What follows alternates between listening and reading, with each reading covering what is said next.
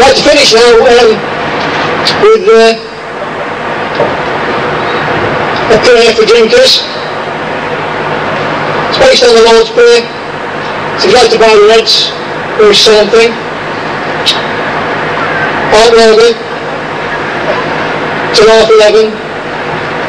Hallowed be thy name.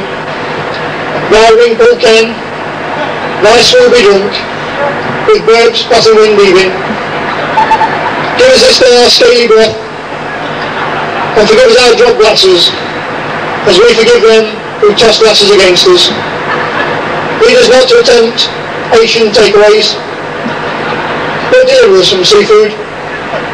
For women times for drinking, to all hours of the morning, forever and ever. Same again. Thanks a lot. Cheers.